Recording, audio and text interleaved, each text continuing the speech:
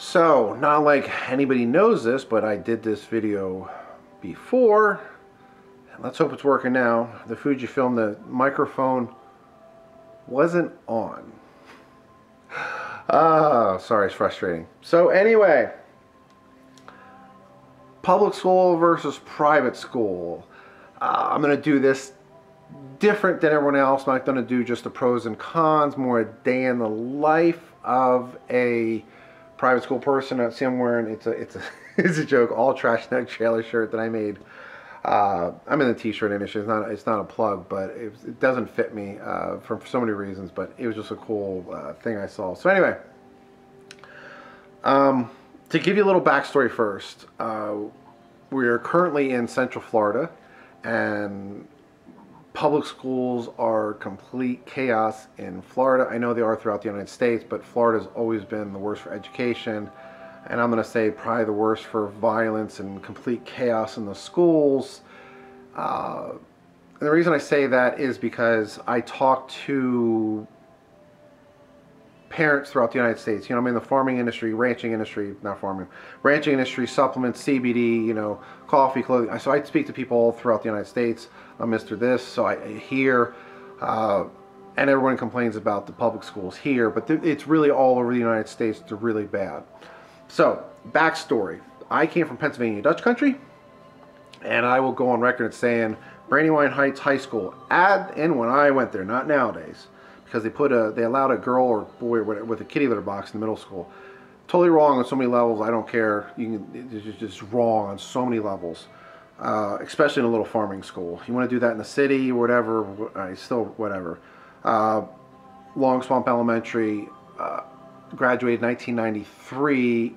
Actually, in Oviedo, my parents, my dad forced me to move here. Uh, my senior year of high school, so but again, Brandywine, uh, I probably almost bet my life it was the best school ever. Uh, it was just epic. So at least I got to experience an epic school where most people don't ever experience a good have a good schooling. I uh, went here in my senior year to Oviedo. It was fine. Um, way better than most of the schools around here. Again, for for uh, this just the safety reasons.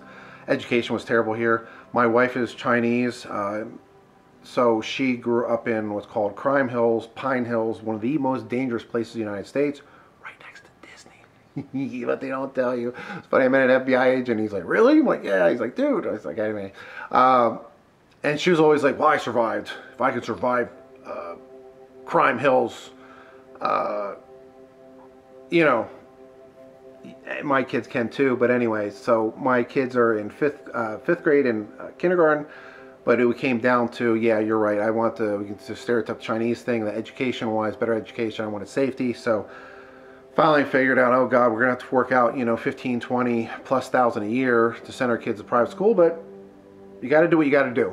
That's how we feel. You do the best what you can for your kids. And I remember saying, saying at the time that uh, so many uh, relatives was like, I'm going to send my kids to public school. Toughen them up. You should too, because your kids are a bunch of uh, can't use the word. I'm trying to keep this PG here. Uh, but babies. And I'm like, well, it's my choice. I don't want my kids uh, fighting all the time, even in elementary school or whatnot. So my choice. So there's the backstory. Hopefully this helps a little bit. So we chose a nice little school, uh, very sheltered, very little sheltered school. Oh, and one thing I do always say, and this is not for YouTube, say this all the time. Just because you're sending your kid to private school, there's not going to be issues, but there's going to be very little issues, if anything. Uh, very rarely fights, uh, bullying. Bullying's be minimal from what I hear at all different schools. Uh, and so, and I don't say all public schools are bad. There's still a lot of great public schools out there, I'm sure, uh, but most of them are absolutely horrible. Uh, and I understand, not very few people have the money to send their kid to a private school or even have it in their area. And I think things are changing because now we're looking at North Carolina, out Raleigh Durham, uh, that triangle. So there's a lot of private schools, but they're going through the same thing. Uh, people want to send their kids to private school, and I and from what I hear, the public schools are pretty good there. But I don't know. Okay, so a day in the life is basically you know you wake up and the kids all have to wear uniform, which is totally awesome. Uh, on so many levels. I talked to the guidance counselor about this recently, and we, we all agree that public school kids should all have to wear a uniform. Uh, it would just help out public school system so much better. Still got the sneaker situation, uh, but anyway, uh, if you understand, you understand. So you wear a uniform. Uh, then there's no school bus. So you have to drive your kid to school, which to me is totally awesome. I mean, well, hate the traffic, the deal uh, to have an extra half an hour or whatever with my kids is awesome. Now I know some public schools, uh, you know, you, especially in Florida, you can drive them and you can pick them up via the car. You don't have to use a school bus. So it's not the case. But anyway, we're going to stick with old school, school bus, no school bus. So to drive them there, drop them off. Now, the school we go to is completely different in the sense that you can walk them to class, which not many people do, but I really like to do. I'd have a presence there, but also get to uh, see what's happening. And what you notice is all the kids don't run, roam in the hall like we all did, causing uh, chaos or whatever. So the kids are uh, go immediately to school, uh, class. I mean, sorry, I was wondering if the music in the background is getting too loud. Um, but you get to talk to teachers, get to talk to other parents, and see what's happening, and it's totally awesome. And plus, I get to relive relive school too. But then in the afternoon, we actually get to walk up to pick our kids up from school, which is totally awesome. So that's an extra 10, 20 minutes I get to spend with other parents, make new friends, uh, which has been great.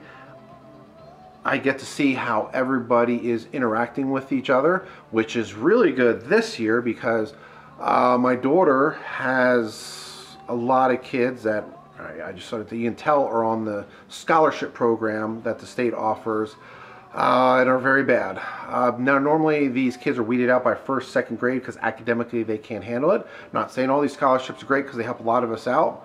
Uh, but, you know, I think it's one of those things, people that get free stuff normally don't appreciate it, right? You give someone a free house, but the people that get it aren't going to be appreciative of it. Uh, so we'll leave it at that. I'm very vague on this, but so, I mean, the scholarships have helped some people that want it, need it, deserve it, but for mostly it's it's a it's a, just a bad uh, it's a bad a bad thing. Um, so you get to see that, you get to see again how all the kids interact, and my daughter kind of got sucked into with some of the when I say bad kids, uh, but it's all working itself out. Um, sorry, I, I, have to be vague. You know, it's YouTube. I have to be I have to be vague. Um, but anyway, it's really cool because you sit there, you get to talk to parents, get to talk to teachers, the guidance counselor, principals, everyone's out there.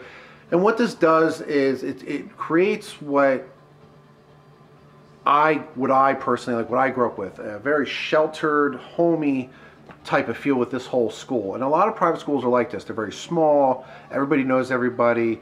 It's not all about sports. I mean, they do have sports, but it's not. It's more about academics. Uh, more nerdy kids because uh, usually got more money and it's just the way it is. It's just you know, and that's fine though. It's it's my kids aren't. Oh, they're not public school kids. They're not tough, uh, you know, like that. So I'm hoping this helping. You know, sorry, it's YouTube. You gotta watch everything you say because I watched this other uh, video in North Carolina. I guess they're uh, the dean or whatever, and he's like I don't know. Everybody here says they got to in North Carolina. They got to bring. They want to bring their kids to private school for safety reasons. He goes, I just don't get it. I do. I think most of us do, and it's a real shame. You know, again, I would do anything for my kids, but to be forking out, you know, 20, 30, 40,000, 60. I have friends that are forking almost $100,000 a year to send their kids to private school. This is a real shame. Now, it's different if you want to send your kids out like, like an Ivy League school. You want to make sure they get in there, whatever. But just for us everyday people that my kids aren't going to go to school, probably college, whatever.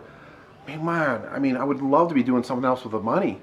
Um, you know, buy my kids vacations or, you know I mean? You, you know what I mean? But this is the world we live in. We have to do things like this nowadays. And he did. Government needs to step it up. And then you hear a lot of the teachers uh, just don't care at public schools. You, just hear it a lot. Um, and I don't get, and I don't blame them with the complete chaos that's going in. Being a teacher nowadays is different. But the teachers at all the private schools all love their job. They really do.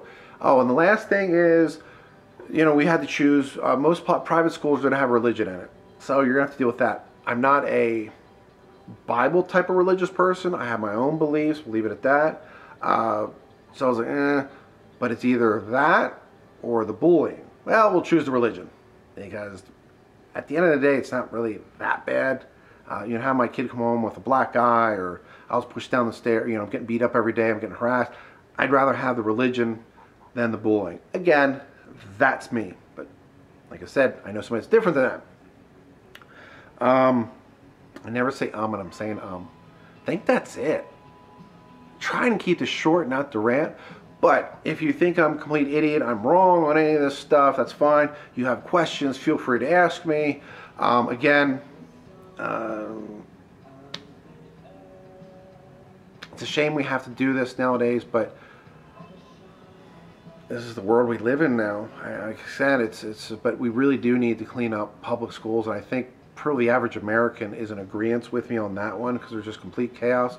But then you know what? I know people that don't even have no clue what's going on even on in their in their kid's life, and that's what's great. Like when I pick up my kids after from school, I'm picking them up, and I get to hear about it immediately, right away, like what happened in their day and everything like that. Even though I'm driving, they're like, "Daddy, you're not listening to me." I'm like, "Yeah, I am. I'm only partially listening because I'm not trying to get us killed by driving because it's complete chaos in Florida driving." But I don't know. So overall, it's worth it.